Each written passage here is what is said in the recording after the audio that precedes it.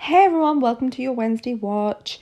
Um, firstly, apologies. Um, last week there was no Wednesday watch, but you might have seen from my Instagram that I was going in for an operation. Um, nothing major, people. Basically, um, I've got teeth like an old ewe, and they're falling out. So they were gonna knock me out and and ease one out a little bit because it's a bit shit and and it's just stuck in there. So anyway, that was that.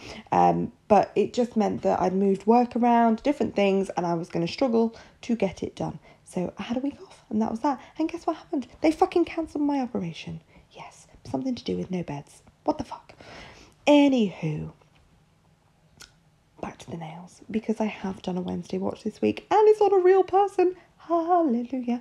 My lovely Kay, I don't know if you can remember, she went off to have a baby and fucking ditched me for her new child. Oh, how dare she? Um, but eight months in, she's realised that they're just vile and nails are life. So, yay, yay, yay, yay. That's great for us. So, it's great because Kay does push me and I love that. She's always looking for new things that we can try and or she'll just let me do what I want and that's what you with a client. Um, so yeah, that's that. Welcome back, Kay. Back to these nails. So they're pretty simple, nice nude nails. Now we're sculpting a classic almond. So that is straight lower arches to the tip. We're going to come out softly from the cuticle to apex, gentle rise and fall. Um, but first we've got to, we've got to create that free edge. So we're stretching it down. Stretchy, stretch, stretch, stretch, stretch until I'm happy, making sure that I've always got that straight lower arch. And then we'll come in with the back, making the apex and cuticle nice and flush. Now, you've got to make sure that when you're putting your apex in place, you've got to make sure that you don't keep wiping it off because I watch so many people, they're placing apex, they keep wiping the bead, wiping the paper towel, wiping the bead, wiping the paper towel. No. Place it. Place it where you want an apex. Then tuck, tuck, tuck, tip of the brush, nice and flush. I'll go on into that in a minute, but leave that product there. That's where you want your apex, so don't wipe it. Just feather it forward and paint it down into what you've already created. Now, I refer to the tip of my brush in a minute as like fingers, okay? Go with me with it. I have very strange ways of um, explaining things, but I think my weird ways of explaining things sometimes will get stuck in your head. So, the tip of the brush, imagine them as your fingers, okay? So, when you're making your bed, or making the bed, any bed, whatever, when you're doing anything, now, when you're tucking the bed sheets or the duvet or anything in, you don't tuck it in with the palm of your hand, do you? You don't just bash, bash, and I'm literally motioning this right now. You don't just tap, tap, tap with the palm of your hands. That is not going to tuck. When you come to tuck your duvet in, you use your fingers to tuck the duvet in, tuck the sheets in. You can't tuck it in with the flat of your hand. That being, you can't use the flat of the brush to make it flush. You've got to use the tip of the brush to make it nice and flush. So the tip of the brush is your fingers. So when we come in to do this one, remember we're leaving the product where we want an apex. Imagine the tip of the brush. Oh, the fingers. You ready? Place it. Leave it. Ready? Tuck them bed sheets in. Gently bringing down the side walls and leaving the apex where you need it and then painting forward. We'll go through it again, but imagine them as fingers. Maybe don't, it might be a little bit strange, but go with it. It's going to be fine. Now we are pinching these nails as well. We want to make sure that they are as wide as a natural nail. It's created with the form by tailoring the form so the form is as wide as the natural nail but also with the pinching tool. So usually when I've sculpted my free edge, the next, the previous nail is then ready. And again, it depends on your client um, and different conditions. But that generally works for me. But you need to test it, make sure it's not collapsing. Um, you might feel the heat from the polymerization, but yeah, you will do it. Now, sculpting this free edge here, I make sure you can see there I'm tucking it up into both of those stress points. That's really important. Before you start to do any sort of shape or length or anything, you need to make sure that the stress points are done. I'll then come and tailor and shape, making sure I've got lovely straight lower arches. But it's following the form. The form is closed so it's following the form. You ready for the bed sheets? Ready? Let's put it the apex down. apex is there. Fingers, tuck the bed sheets in. I'll twist my brush to the side. Sidewall's gone, nice and neat. I've got that product on the top. Leave it and paint front to the from the front down.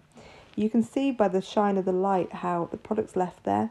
It raises up gently to an apex and falls down to the free edge. I'm now ready to move my pinching tool. And there we have it. We're done. Obviously I haven't left the thumb in because it's a fucking thumb. And we're done. Now I filed off of camera because it's awkward. So you can see they're lovely and neat. Nice almond. And then we're going in with a non-wipe top coat from Glitterbels. So we're going to cover the whole of these with this finish with the non-wipe top coat and then they will go in the lamp and then we will do lots of artwork with some pastel pigments. We are getting artsy fartsy, getting down with cool kids this week. Um, I know I've used the pastel pigments a bit in previous videos, but they're essential for now. They're so versatile. I love them. Um, hopefully you all love them as well. Um, but yeah, it's nice, dead easy. If I can do stuff like this, you guys can, because I am the least artsy person there is. Well, I can do like acrylic artsy stuff, but give me a paintbrush or anything and I'm fucked. So yeah, jobs are good. And so they will now go into the lamp and I'm going to pop them in for 60 and then we'll come in with indigo um, sugar it. It's in white. It's fab. I do love it. I have another different brands, but this one I get on with really well for doing it. So it's from Indigo. And I'm using the detailer brush from Glitterbels. And I really can't explain what I'm doing. I'm just kind of mashing up, making a mess with white. Um, using my detailer brush as well to do some dots and dots and dots and dots, dots and dots and blobs and splodges and different things um, until I'm happy. And then they will go back in the lamp, but only for 10 seconds because I want to leave a really good inhibition layer sticky so that I can dab these pastel pigments in. Um, right, if I sound a little bit quiet, um, it's because my children are in bed, the husband is out. It's fucking brilliant, and I don't want to ruin it. I don't want to wake them up. Sometimes Teddy will come down and, You're really noisy, I can hear your telly. So, yeah, I'm doing all within my power to not fuck up my evening alone. So, I am whispering a little bit. So, there's that. Another thing I need to add can you remember um, a couple, probably a couple of months ago, when my client went on holiday and she needed engagement nails because she thought she was going to get engaged on the beach on holiday. She thought he might propose to her, and he didn't fucking propose to her, did he? He didn't do it. He didn't do it. The nails were wasted. Well, I've been keeping a little secret, and I can tell you all now. Now, this little lovely have they've been together a very long time, and we're going through treatment because they were struggling to have a baby. Um, you know where this is going, don't you? It's. Anywho, she did not get that diamond ring. No, no, no, no, no.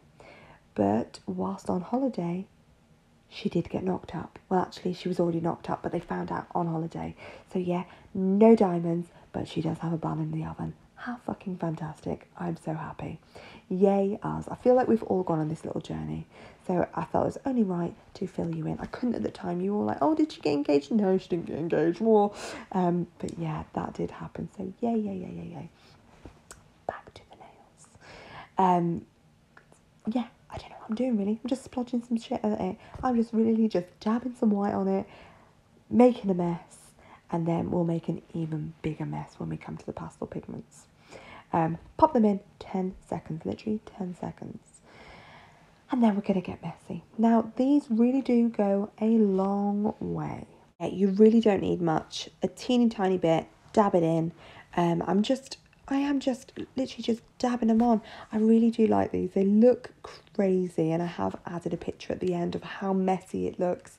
Um, and I really like that um, because it's completely different to the finished result. So, yay, I'm literally just dabbing in, and then I'm going to get even Heartsier again, again from Indigo. I'm using a black um, paint from them and I am going to do, I don't know really what it is, just some fine lines, some squiggles, some stuff. And again, they'll go into the lamp and finished with a top coat. Um, it is a shiny non-wipe. I did want to go matte, but Kay's not a fan, and I want to keep her sweet at the moment. I want her to come back to me. Um, so we went for the glossy one, and it works. It does look lovely. Um, also, I just want to point out that, yeah, yeah, it looks like I am doing Kay's nails with my feet, because I've got these fucking stumpy fingers.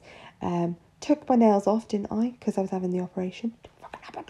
Um, and I haven't put them back on because I'm getting to that time. It's April. You know what happens with me. I'm going to be elbow deep in sheep's vaginas because lambing time is here. Well, it's in another week's time when the kids are off with half term. So, you know, I've got some extra hands and they've got little hands as well. I'll send them into the vag. Teddy would be great with it. Um, so, yeah, it's all going to kick off very soon. Lots of lambs coming our way. Um, so, yeah, so I've got these little feet, little toe fingers, little nubbins. Um, they make me feel a little bit sick, and I'm sure they do you. Um, but yeah, just wanted to raise that before someone like to leave me a comment saying, Ew, what's going on with your hands? That's what's going on with my hands. Because, yeah, I'm also a farmer. so, yeah. Anywho, I'm going to go. I'm going to take my whispery tones off to the fridge and uh, see what I can eat. Um, hopefully, you have loved this video. And if you did enjoy it and you don't already, please would you subscribe? I've got to do the YouTubey thing, you know, please like, subscribe and comment. It would mean the world to me. And it really does. Um, it really does mean the world to me. Um, and I will be back again next week.